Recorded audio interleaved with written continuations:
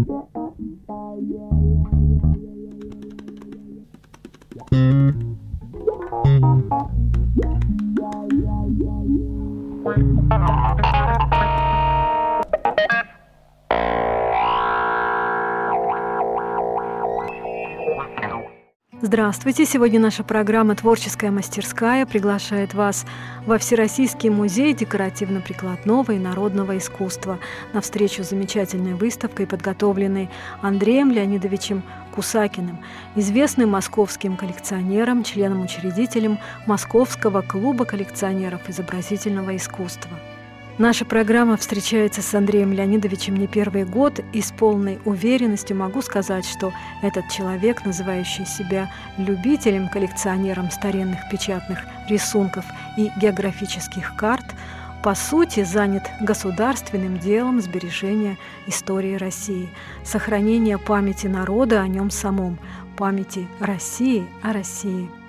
Портреты семьи Романовых, Екатерина II, Петр I – эти гравюры из коллекции Кусакина украшали, притом совершенно бескорыстно со стороны владельца коллекции, не одну выставку, и к тому же это авторские листы, хранящие прикосновения мастеров, а чего стоила, например, одна его компания по проведению выставок, посвященных войне 1812 года. Задолго до известной всем даты 2012 года он выступил инициатором выставки в Государственном историческом музее музее. Выставка называлась «Мир и война» 1812. Она состояла из частных собраний московских коллекционеров, собирающих реликвии Отечественной войны 1812 года. Это было в 2008 году. «Я носился с этой выставкой с начала 2000 года», — говорил Кусакин. «Хотел, чтобы она открылась в 2005 году. Все мы читали о сражении при Аустерлице у Толстого «Войне и мире». Вот император Александр I, Денис Давыдов, многие увидели их такими впервые. Наши зрители были свидетелями уникальных выставок коллекционеров в Екатеринбургском музее изобразительных искусств, напоминающих нам лица героев войны 1812 года, и впервые для большинства из нас, представивших сцены самой войны, зарисовки военной жизни, сделанные, что характерно, французскими художниками и граверами. «Во славу Божию делаю, во славу Божию», — говорит Кусакин. Сегодня наша встреча с Андреем Кусакиным на выставке его собраний, посвященной первым географическим картам России – Первые карты России представляют собой не только географическую научную ценность, и это не только образцы художественного, графического, печатного искусства, вы сами в этом можете убедиться, и это целый мир, представляющий нам историю нашей Родины, времен от Российского царства до Российской империи. Это эпоха, которая досталась Романовым как бы в наследство, предшествовала им эпоха прихода на трон Романовых, при которых продолжали совершаться географические открытия как русскими землепроходцами, так и иностранными путешественниками, стремившимися найти Северный морской путь. И все это на фоне смутного времени, войн, эпидемий, восстания, раскола, но снаряжались экспедиции с 80-х годов XVI века до 40-х годов XVII века. Русские люди прошли по степям, тайге, тундре, через всю Сибирь, проплыли по морям Арктики и совершили ряд выдающихся географических открытий. Уже в XVI веке среди льдов Арктики на маленьких парусных кочах плавали русские полярные мореходы. В начале XVII века было регулярное водное сообщение западносибирских городов с Мангазеей по Аби, Обской губе, Ледовитому океану, Мангазейский ход – Такое же сообщение было между Архангельском и Мангазеей. В Мангазею во все годы ходят кочами многие торговые и промышленные люди со всякими немецкими, то есть иностранными, товары и с хлебом, писал современник. На их времена приходится открытие одной из крупнейших рек Азии Лены, устья Индигирки, открытие Камчатки, а в 1648 году пролива между Америкой и Азией, сделанное Дежневым и Федотом Алексеевым.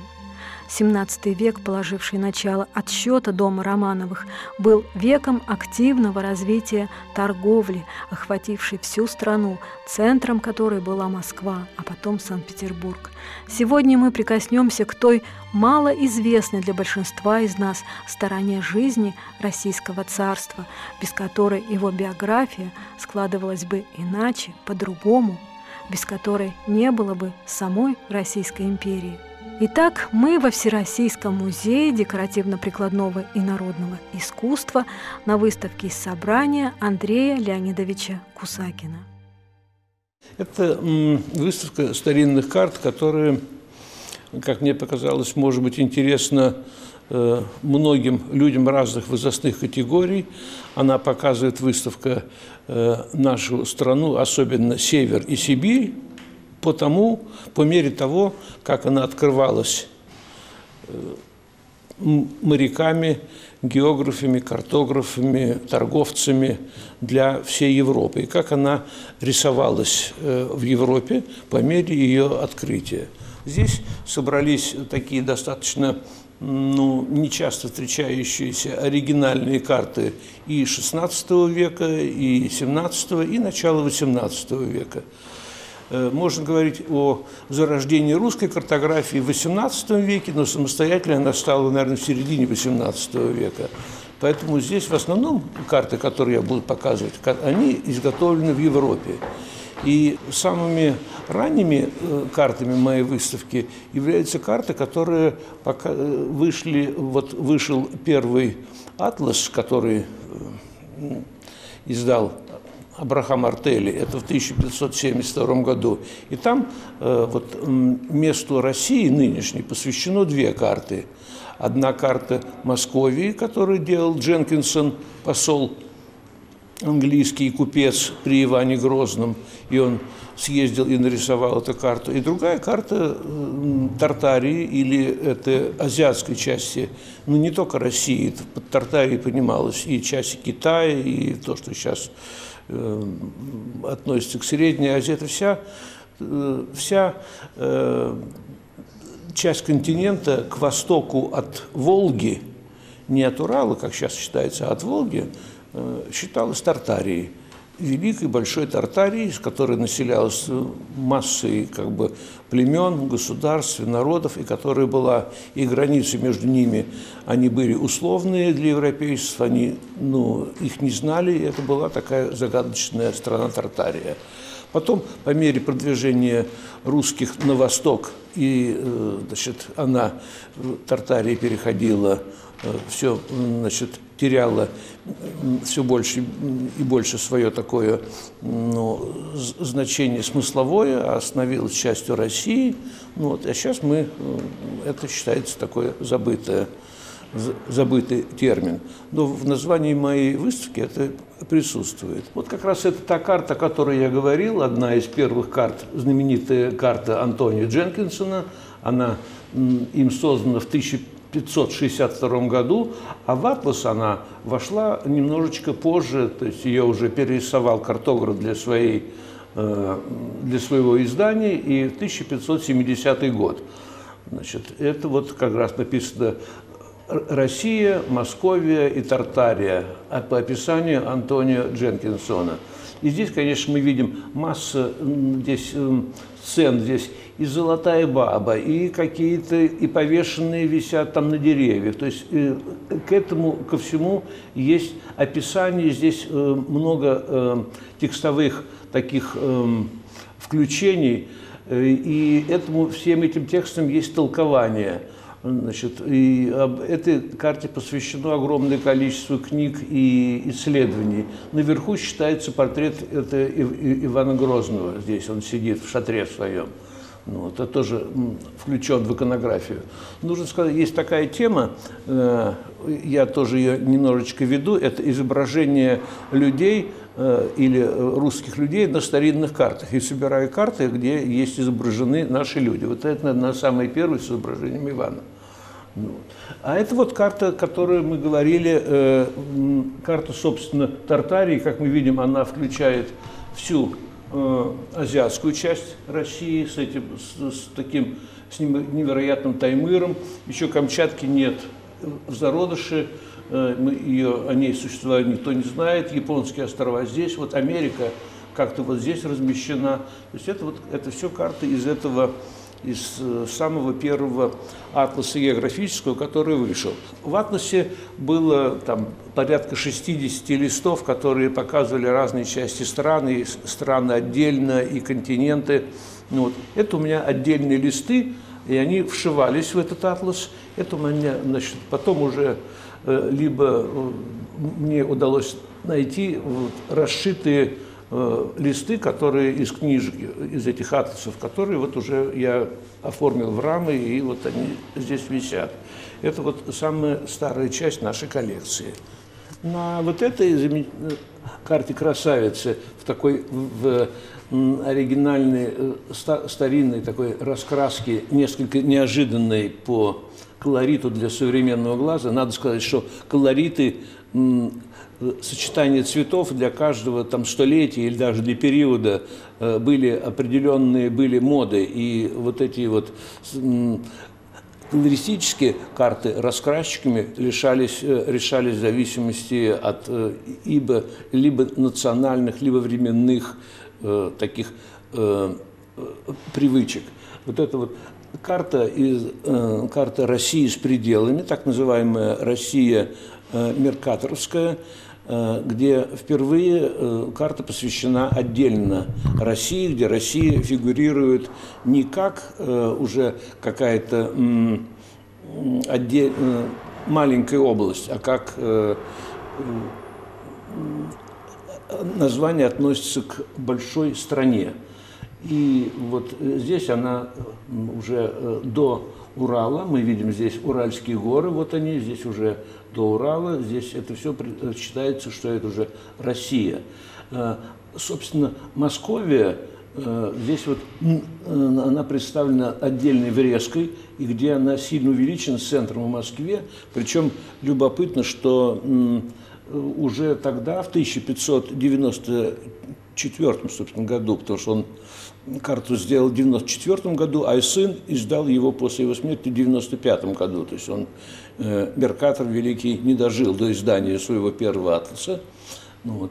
А здесь уже на карте Москвы мы можем видеть уже и Москву реку, и Аку, и даже э, такие речки, как Неглинная и Яуза уже здесь есть на этой карте. Это 1594 год. Уже европейцы знали об этом деле. Нужно сказать, что э, русских источников значит, в России не знали э, деления значит, на Э, по градусной сетке, и э, километраж тоже носил условное значение. В основном было, конечно, сколько дней идти пешком или, или сколько дней лошадь едет. Вот такие были как бы э, э, масштабы в России. И без, без градусной сетки и без всего это было... А здесь уже мы видим, уже и градусная сетка нанесена, потому что уже некоторые иностранцы, путешествующие, делали географические привязки по разным городам, путешествие по Волге, допустим, путешествие по Волге, э, было сделано там семь э, географических привязок по широте и долготе, это волжских, и уже они ложились на карту, и по ним уже проводилась Волга, от нее же вправо, влево, и тогда уже европейцы понимали, что где у нас как-то находится. Это вот такая э, дивная, замечательная карта. Я специально ее не отдаю реставраторам прессовать, чтобы вот это были старые складки, чтобы сохранялись, что все она сохраняла свой э, такой аромат э, времени. Э, вообще реставраторы сейчас и эти листы и отбеливают, и специально значит, делают им белый цвет, но я стараюсь, если нет каких-нибудь страшно, страшных пятен, этому этим операциям карты не подвергать. И этот лист, эта бумага, поскольку она делалась в старину из, э, и варилась из тряпичного сырья, из тряпок, и причем тряпки не все подбирались, а качественные. То есть эта бумага, вот эта тряпичная бумага, вот этой карте сколько? 500 лет, значит, получается. Вот эта тряпичная бумага, она цела, ее можно согнуть, разогнуть и так далее. И все, что с ней делать, и она хранит раскраску. Ну вот. Мы переходим плавно уже в 16 век с вами.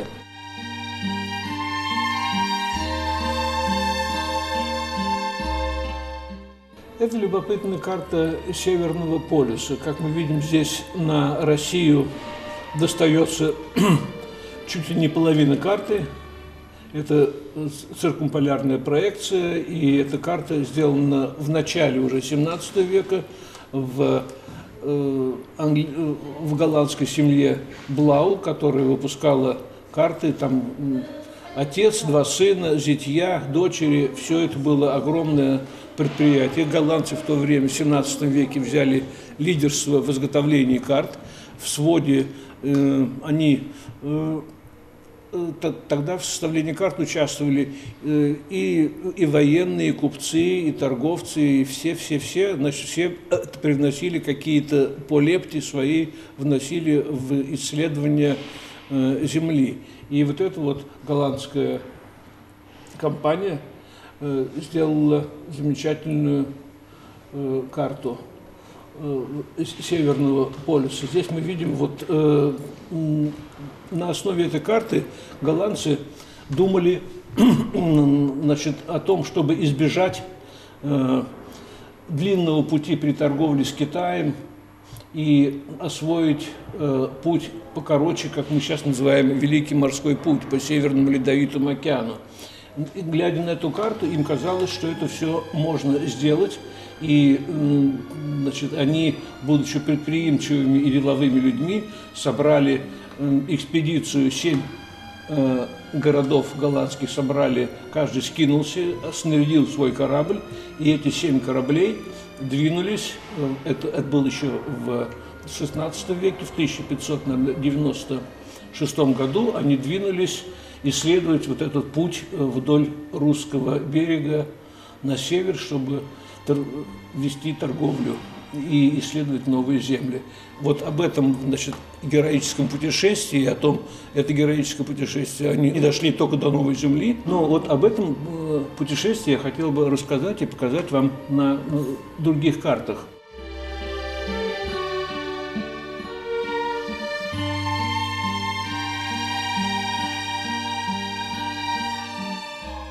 По пути они открывали, конечно, голландцы э, для себя новые острова, новые земли, и им давали свои имена. Новая Голландия, Новая Фризия или какой-нибудь, или остров Штатов. Вот мы здесь на этой карте мы видим замечательный остров, сейчас он называется остров Местный. Ну вот, он находится за Вайгашским проливом, уже э, по ту сторону новой, новой земли, близко к, ближе к о, Аби. Э, там произошло, мы видим эту картинку, где э, медведь задрал двух голландцев. Это дата известна, и эта картинка появилась вот в отчете голландцев об этом путешествии, значит, и она потом, эта картинка кочует о том, как медведь нападает на голландцев, на, на моряков, а они бегут от него, она кочует после этого уже столетия по всем отчетам и описаниям э, о русской Сибири, о русском севере. Вот это вот это произошло вот на этом острове местное. Причем вы смотрите на этой картинке, здесь сделаны промеры э, глубин, означены все памятные кресты, где стоят, намечены бухты для стоянки. То есть голландцы, когда этот путь проходили, они все это детально картографировали, потому что, чтобы следующий, чтобы те, кто за ними последует, чтобы они знали, где им удобно встать, разместиться, отдохнуть, пополнить припасы и все, и все. То есть вот такая была их миссия. И потом это все публиковали для всего мира. Вот что интересно. Значит. Это, такова была их миссия. Вот эта экспедиция первым делом попробовала обогнуть э, новую землю с западной ее стороны, и э, она достигла ее оконечности до сюда. Вот она обогнула всю землю, и здесь их э, сковал э, паковый лед, который уже льдины шли, и им не было возврата этим людям. Значит, что было принято решение зазимовать здесь, на Новой Земле, это уже было в сентябре месяце, уже там лед. И вот мы удивляемся на свою зиму. Эти люди зазимовали на Новой Земле, значит, и э, зима у них шла до мая месяца. Ну, вот, у них зима длилась 10 месяцев. Они разобрали свой корабль, из него сложили дом, потом мы с вами посмотрим, как этот дом, вот он, этот дом нанесен, и, значит, и перезимовали здесь зиму. Что они делали зимой? Они зимой охотились на песцов, значит, э, пели песню, у них был песенник, это был 1597 год, они пели голландские свои песни – Э, значит, охота, они э, вели отсчет времени, писали дневники и так далее, и так далее. Вот такой вот, значит, и э, смогли пережить эту зиму, потом из остатков корабля, вернее, из остатков корабля, и они спасли две шлюпки, и они уже вернулись на этих шлюпках, стали, не стали проходить назад здесь, а вернулись старым путем, потому что они не знали, что здесь дальше находится. Э, потому что здесь могло быть, э, этот остров мог здесь не, не кончаться, он мог быть какой угодно. Они снова обогнули и на шлюпках вернулись, и здесь встретили, впервые встретили э, живых людей, наших поморов, которые их видели в прошлом году и спросили у них, где корабль, и рисовали им корабль. И они, сколько могли, руками объяснили нашим людям, нашим поморам, что корабля нет.